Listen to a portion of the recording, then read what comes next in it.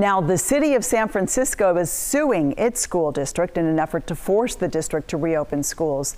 This is a first of its kind lawsuit in California. School districts are under increasing pressure from parents and politicians to get the kids back into classrooms. The teachers union again says it's not safe until teachers and staff are vaccinated, but the lawsuit claims that school administrators are violating state requirements that districts adopt a clear plan during the pandemic to offer classroom-based instruction whenever possible.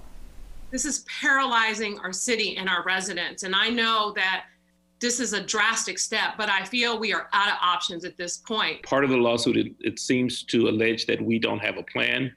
Uh, we absolutely have a comprehensive plan. Uh, this plan has specific steps around health and safety.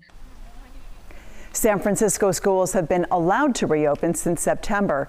And while the public schools continue with distance learning, 113 private schools in the city are open for in person learning, many spending a significant amount of money on testing.